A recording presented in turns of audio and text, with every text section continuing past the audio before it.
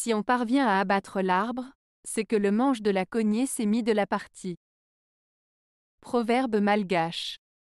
Ce proverbe signifie que pour réussir à atteindre un objectif difficile, il est souvent nécessaire d'avoir les bons outils et de travailler avec diligence et persévérance. L'arbre représente l'objectif difficile à atteindre, tandis que le manche de la cognée symbolise les efforts et les outils nécessaires pour atteindre cet objectif. En d'autres termes, le succès vient souvent en utilisant les bons moyens.